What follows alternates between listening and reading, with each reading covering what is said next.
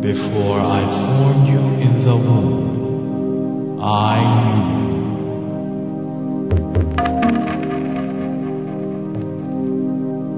you. Before you came to birth, I consecrated you.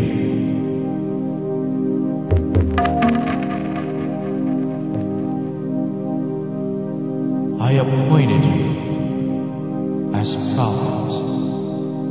to the nations.